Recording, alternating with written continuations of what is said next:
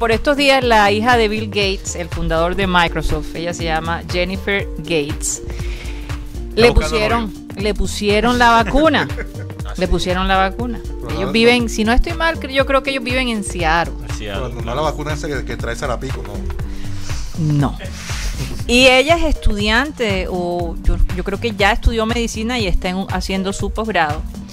Y en su cuenta de Instagram dijo lo siguiente, recuerden que de Bill Gates han dicho miles de cosas, hay miles de teorías. Ella le dijo esto a la gente que piensa que, que Bill Gates es el creador de todo esto. Y no, que te quiere meter un chip. Lamentablemente la vacuna no implantó al genio de mi padre en mi cerebro. Si tan solo el ARNM tuviera ese poder, escribió además un emoji guiñando un ojo en una publicación de su Instagram. Entonces es una manera de hacer, digamos, de las de las personas de que, oye, ella es hija de Bill Gates, se tiene que poner la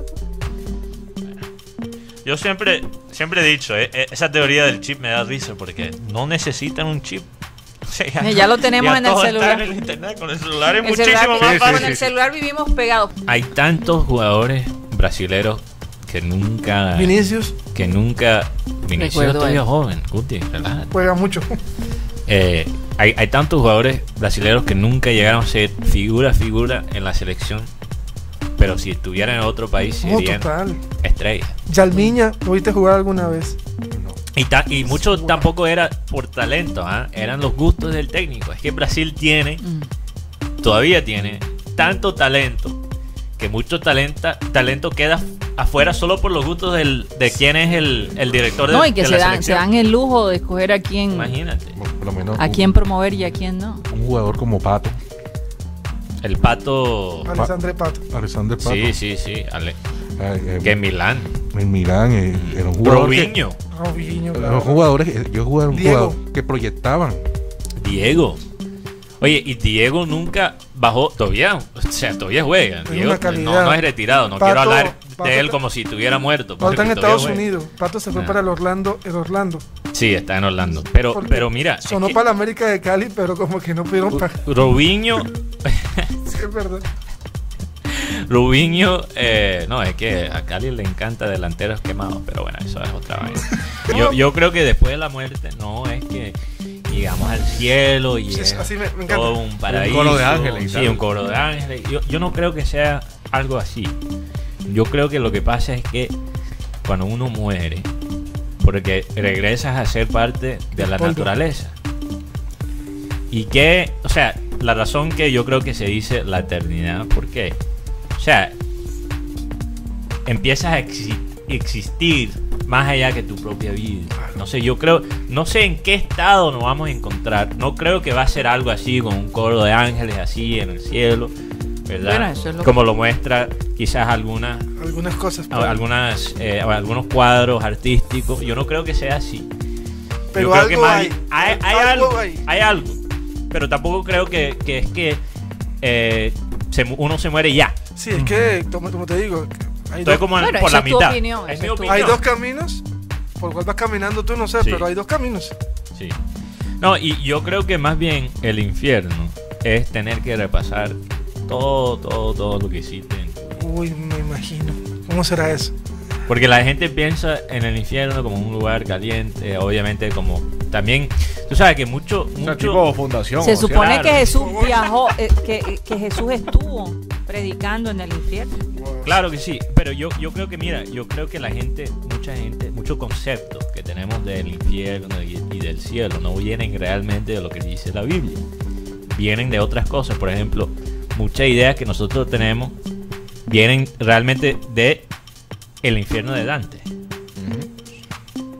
Y el infierno de Dante, al fin y al cabo, es una obra de arte, no es un texto propiamente religioso. ¿Quién es la colombiana que está que forma parte de Bueno, y este es el dato importante.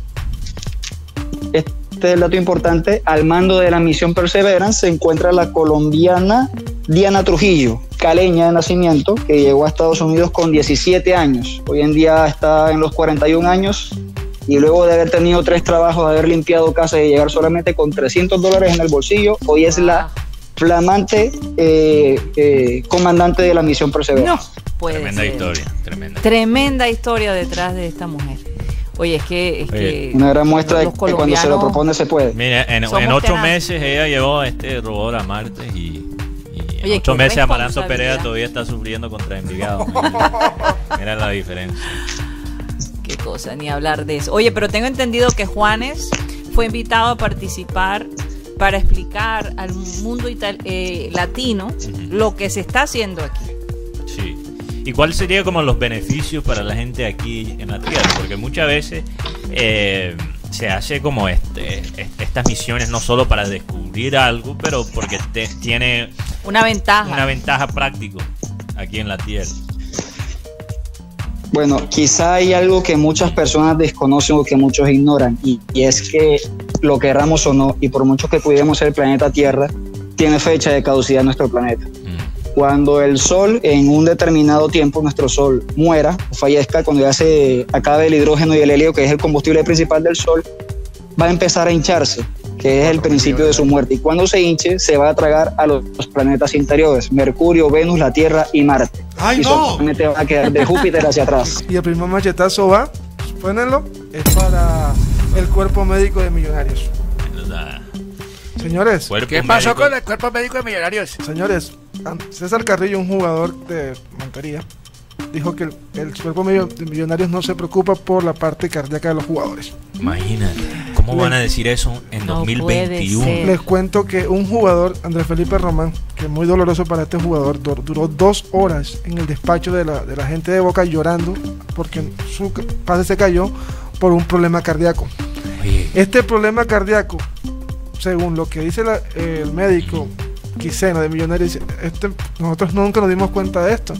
¿Qué está pasando? pero que ni- el jugador, lo chequearon. supuestamente, hace- dice la gente de Argenti- Argentina, hace año y medio no se le hace una, una revisión a este jugador. Este jugador había podido caer muerto en cualquier momento. Y para los que no ¿Cuántos recuerdan, años tiene? 25 años.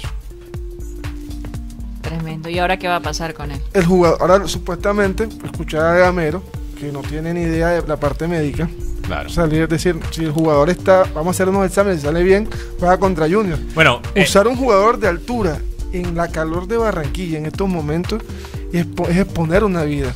Y Claro, sobre todo, sobre todo lo más doloroso es Y viceversa. se- Me pregunto si el Junior hace lo mismo. ahora, Junior, eh, Junior en esa parte, mucha, hablaba con Rodolfo ah, fuera del programa ayer, decía, Junior, el jugador prestado, sí le hace el examen como tal, un examen muy riguroso, pero el jugador que va a comprar es más riguroso.